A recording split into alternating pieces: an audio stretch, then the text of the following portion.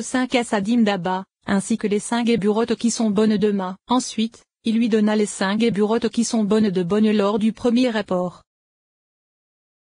Commentaire. Étudie ce qu'il est dit dans le neuvième paragraphe du chapitre sur les cerveaux, car il est écrit que Zahir Empine lui donna d'abord la lumière de bonne de bonne et de bonne de. Puis, lors de la coupure elle prit leur essence pour les besoins de l'édifice du corps. Ensuite, lors du premier rapport il lui donna ma de bonne, alors que lors du second accouplement il lui donna ma de ma.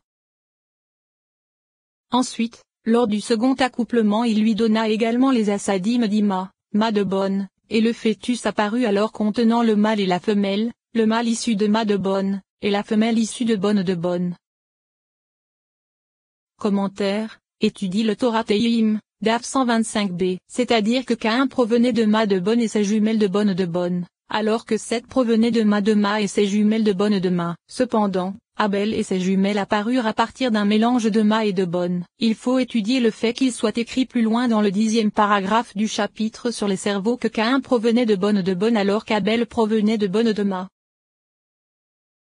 Et les deux correspondent aux Geburotes provenant de bonne. Or il s'agit de la racine de Cain car il émana du nom bonne qui au début était le nom Sag, lui-même étant plus grand que le nom Ma. Et le mâle et la femelle de cette sortir des Assadim et des Geburotes d'Abba qui sont Ma de Ma et bonne de Ma. Cependant, le mâle d'Abel sortit pour moitié de ma de ma et pour moitié de ma de bonne, et la femelle pour moitié de bonne de ma et pour moitié de bonne de bonne. C'est pourquoi ils se divisèrent en deux jumelles, celle qui provenait de bonne de bonne fut appelée jumelle additionnelle car elle provenait de l'aspect de Cain, c'est pourquoi Cain la jalousa. Comprends cela. Grâce à cela tu comprendras également comment il peut y avoir des hommes mâles qui proviennent des Geburotes correspondant au nom bonne. Le sujet en est qu'ils proviennent de ma de bonne alors que leur femelle provient de bonne de bonne qui est inférieure. Et il existe des hommes mâles qui proviennent de ma de ma, et des femmes qui proviennent de bonne de ma qui est inférieure. Cependant, vis-à-vis du ma et du bonne généraux, le bonne général possède un grand avantage sur le ma général car le nom bonne correspond à l'aspect de sa qui est supérieur à ma, comme cela a été expliqué dans d'autres ouvrages à propos des anges qui proviennent de Sag. Ceci constitue le sujet d'Harry Campine dont l'épaule droite correspond aux Assadim provenant du ma général, alors que son épaule gauche correspond au Geburotes provenant du bonne général,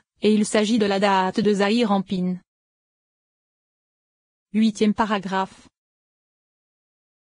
Bonne n'est pas mentionné ailleurs que vis-à-vis des femelles. Il faut étudier le fait que l'aspect des rois se trouve également dans les mâles, car nous savons que dans les aspects d'Abba et de Zahir Ampin existent des rois provenant de Bonne. Et l'aspect du nouveau malheur correspond également dans les femelles c'est-à-dire dans Zima et dans la Noukba de Zahir Ampin. En résumé, il me semble que le nom Bonne contient dix séphirotes et qu'il en est de même pour le nom Ma. Ainsi, Attic prit les dix séphirotes de la Keter de Ma, mais il prit également les cinq premières séphirotes de la Keter de Bonne, les trois premières de la Okma de Bonne, les quatre premières de la Bina de Bonne, et les sept qu'étaient des sept inférieurs de bonne. Or la totalité de Ma est masculine alors que la totalité de bonne est féminine. Cependant, en ce qui concerne les sept qu'étaient des sept inférieurs de bonne, il y a un doute quant à savoir si Attic les prit dans son corps ou non. Mais revenons à notre sujet, c'est-à-dire que le mâle d'Ari Campine prit la totalité des dix séphirotes de la Hokma de Ma, et sa femelle prit les cinq inférieurs de la Keter de bonne. Sache que son crâne correspond à la Bina se trouvant dans la Keter de la Hokma de Ma mêlé à une partie de la Keter de Bonne. Et la Hokma se trouvant en lui c'est la Hokma de la Hokma de Ma, mêlée avec une partie de la Keter de Bonne. Et les deux sont désignés comme les Okma et Bina se trouvant dans les cerveaux. Or puisque cette Bina provient de la Keter de la Hokma de Ma, Commentaire moins étudie plus loin le neuvième paragraphe ainsi que le premier et la fin du second commentaire du Raveillim vital de mémoire béni, il me semble que ceci constitue la vérité de la chose car cette bina n'est pas la bina de la keter de Hokma mais la partie provenant de la keter de Bonne qui se mêla avec la Hokma de la Hokma de Ma. Comprends bien cela, car la Hokma d'Ari Campine qui est le cerveau caché correspond à cette Hokma qui, mêlée à la partie de Bonne, fut appelée lampe de l'obscurité. Son niveau est plus élevé que celui de la Hokma de la Hokma de Ma. C'est pourquoi elle est un nom caché et non révélé, et elle est appelée lampe de l'obscurité car elle est plus mystérieuse que Hokma et se revêt d'elle. C'est la raison pour laquelle Bina n'est pas ici révélée, et c'est d'elle qu'émanèrent toutes les Geburotes. Le sens en est que la Bina de la Keter de la Hokma de Ma est le crâne, car tout comme dans Zari Campine qui est appelé Keter général du monde de l'Atsilut les trois premières se revêtent d'Abba et Ima. Il en est de même pour tous les parts soufim. Ainsi, ce sont uniquement les sept inférieurs de Keter, Okma et Bina de la rigue particulier qui se revêtent de la Okma se trouvant en lui. Commentaire. Dans le Sefer Zohar Arakia, DAF 13, il est dit que les dix séphirotes de Keter en contiennent chacune dix, car il y est question de la Bina se trouvant dans la Bina de Keter. Mais peut-être ne s'agit-il que des trois premières. Il se trouve que la Bina se trouvant en lui resta au-dessus de Okma. À l'image d'un crâne se trouvant au-dessus. Comprends cela car ceci est indiqué dans un manuscrit de mon maître de mémoire béni. En vérité, la Bina se trouvant en lui est la Bina de la Okma de Ma. Et avec elle se trouve une partie de la Keter de Bonne. Or elle descendit dans la gorge comme nous le savons, et de là sortir Abba et l'un de Ma et l'autre de Bonne. Car il y a là aussi une Okma et une Bina puisque la Bina de Ma devint Okma vis-à-vis de la partie de Bonne appelée Bina de Bonne. Le sujet en est que ces deux aspects sont semblables à Abba et Ima et à Israël l'ancien et Tebuna, car Abba et Ima se trouvent dans le cerveau caché, et les deux sont désignés uniquement par le terme Okma, et Israël l'ancien et Tebuna se trouvent dans la gorge, les deux étant désignés uniquement par le terme Bina. Ceci est similaire à ce qu'il est dit plus loin à propos de Zaba et Ima. Étudie cela. Ainsi, à partir de la gorge qui correspond à Israël l'ancien et Tebuna se trouvant dans Zari Campine apparurent les Abba et Ima généraux véritables de la Tzilut. Et ces Abba et Ima se divisèrent en deux autres aspects pour donner Abba, Ima, Israël l'ancien et Tebuna. Commentaire, dans le chapitre sur les cerveaux, étudie le neuvième paragraphe car cela y est détaillé, le maître a expliqué cela de façon différente. Mais grâce à ce que j'écrirai plus loin à ce propos on comprendra que tout ceci ne forme qu'un seul sujet. Sache que les abats et supérieurs donnèrent. Commentaire, étudie le quatrième paragraphe du chapitre sur Abba et Ima, car le maître y a dit quelque chose qui demande à être étudié. En vérité, dans ce paragraphe il est d'abord dit, ainsi qu'en de nombreux autres endroits, que la chose suit assurément ce chemin. Abba à partir de la femelle c'est-à-dire de la moitié supérieure de la bina de Ma, et Ima à partir du mâle. Commentaire. Étudie le cinquième paragraphe du dix-neuvième chapitre ainsi que le dixième paragraphe du vingtième chapitre, car il y est écrit qu'Abba prit de la bina de Ma l'axe de droite et la moitié de l'axe central, alors qu'Ima prit l'axe de gauche ainsi que, l'autre, moitié de l'axe central. C'est ce que signifient les termes de supérieur et inférieur dont il est question ensuite. C'est-à-dire de la totalité de la Okma de Bonne. Cependant, cette Okma de Bonne est appelée Ima car elle correspond à l'aspect de Bonne, alors que la Bina de Ma est appelée Okma car elle correspond à l'aspect de Ma. Il se trouve donc que les deux sont véritablement appelés uniquement Okma, et ils correspondent à l'aspect du premier iode du tétragramme. Orima est infiniment plus grand de Kaba sous trois aspects. Le premier c'est que l'un correspond à la moitié de la Bina de Ma alors que l'autre correspond à la totalité de la Okma de Bonne. Le second c'est que l'un est Okma et l'autre Bina. Et le troisième c'est que l'un est Ma alors que l'autre Bonne dont le degré est plus élevé que celui de Ma puisqu'il s'agit de l'aspect de Sag comme nous le savons car les rois qui moururent sont tous sags. C'est pourquoi Ima apparut alors caché et revêtu d'Abba. C'est pour toutes ces raisons que les deux furent uniquement appelés Abba ou Okma, car elles n'étaient absolument pas révélées. C'est aussi pourquoi les deux correspondent au iode du tétragramme car Vaudalet est la valeur numérique du iode, et sa forme est Dalet Vaud. Ainsi, Ima se trouvait dissimulé à l'intérieur du iode, et ce n'est que ce iode simple qui était visible c'est-à-dire Abba. Ceci constitue le secret de l'expression couronne de son époux. En vérité, Israël l'Ancien, et Tebuna apparurent, à partir de la moitié inférieure de la Bina de Ma, et Tebuna à partir de la totalité de la Bina de Bonne. Ainsi, les deux avaient l'aspect de la Bina de Ma et de Bonne. C'est pourquoi ils furent uniquement désignés par le terme de Bina, ce qui correspond au premier et du tétragramme. Et Abba se trouvait alors cache car il correspondait au iode de la forme développée et I. En effet, Bina, n'était alors pas plus grande que lui puisque les deux provenaient de l'aspect de Bina. Or lui provenant de l'aspect du mal il l'emporta sur elle. Mais ceci ne fut pas le cas pour Abba et Ima car Ima avait alors un énorme avantage sur Abba, comme cela a été indiqué. Il se trouve ainsi qu'Abba correspond à l'ensemble.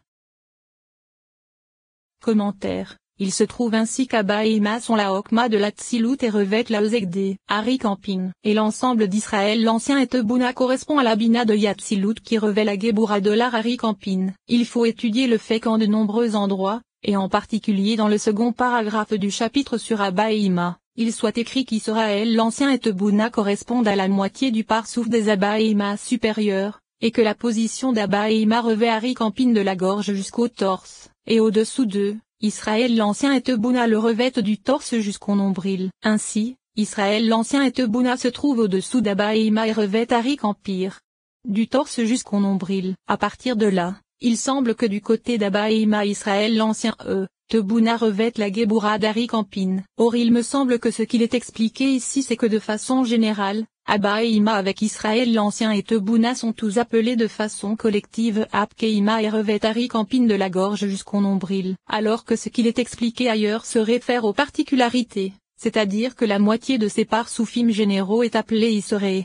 L'Ancien et Tebouna, et il revêt Campine du torse jusqu'au nombril, et tout comme l'ensemble d'Abba est appelé Abba et Ima. De même la moitié du parsouf de leur généralité appelée Israël l'Ancien est appelé Harry Campine. De façon collective ils sont appelés uniquement Israël l'Ancien, et leur contenance se trouve au-dessous de l'ensemble d'Abba supérieur de même, tout comme la généralité d'Ima est appelée Israël l'Ancien et Tebouna. La moitié du parsouf de sa contenance appelée Tebouna est appelée Israël l'Ancien et Tebouna. De façon collective ceci est si uniquement appelé Tebouna, et leur contenance se trouve au-dessous de l'ensemble d'Ima supérieur. En effet, ces deux versions sont des paroles divines, car Abba et Ima d'une part et Israël l'Ancien et Tebouna d'autre part se correspondent et se trouvent les uns au-dessous des autres.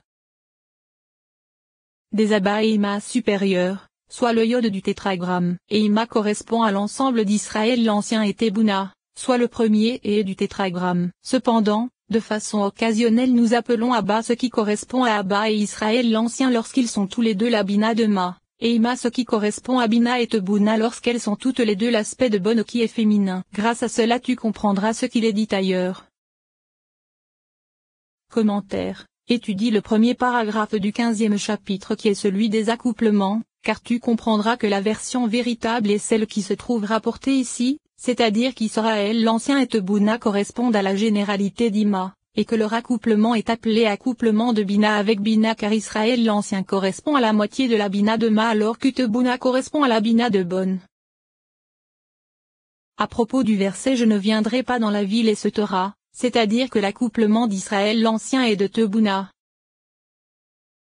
Commentaire il me semble qu'il faille en fait dire qu'il n'est pas permanent puisque leur accouplement cesse, et c'est ce que dit le verset, je ne viendrai pas dans la ville et se tera est un accouplement qui ne cesse jamais, et il est appelé accouplement de Bina avec Bina. Cependant, je ne viendrai pas dans la ville et souhaitera. Correspond à Okma avec Bina, c'est-à-dire les Abba et Ima supérieurs dont l'accouplement cesse. Or nous avons appris dans un autre enseignement qui m'a apparu entre les bras d'Abba, et ceci constitue le secret d'Israël l'ancien et Tebouna qui sont appelés Ima et apparurent au-dessous des deux bras d'Abba et Ima supérieurs appelés collectivement Abba. Neuvième paragraphe. Ainsi, tu verras qu'Atik contient Ma et Bonne, les deux étant le mâle et la femelle d'un même parsouf. Et l'arrière de Ma et de Bonne se trouve au milieu de ce parsouf, alors que l'avant de Ma se trouve d'un côté et l'avant de Bonne de l'autre côté, les deux aspects arrière se trouvant entre les deux. Harry Campine est également mâle et femelle, c'est-à-dire Ma et Bonne dans un même parsouf. Cependant, cela se fait d'une autre façon car dans la totalité de sa moitié droite se trouve Ma, avant et arrière, alors que dans la totalité de sa moitié gauche se trouve Bonne, avant et arrière. Et dans Abba et Ima nous retrouvons Ma et Bonne mais dans deux parts Sophim qui sont toujours attachés ensemble face à face, à l'image d'Attic. Ils sont tellement attachés qu'on ne considère les deux que comme un seul souf appelé Abba. Et il en est de même pour Ima car nous y trouvons les deux soufim de Ma et Bonne mais ils sont puissamment attachés face à face à l'image d'Attic. Et dans Zahir en Pin et Noukba nous avons une perte additionnelle car lorsque les soufim descendirent de leur degré, la séparation de l'aspect de Ma vis-à-vis de l'aspect de Bonne se révéla. C'est pourquoi une division fut ajoutée dans la partie de Ma et de Bonne de Zahir en Pin et Noukba. Le sujet en est que Zahir en Pin est en totalité un aspect de Ma, alors que Noukba est en totalité un aspect de Bonne, et ils sont parfois séparés dos à dos,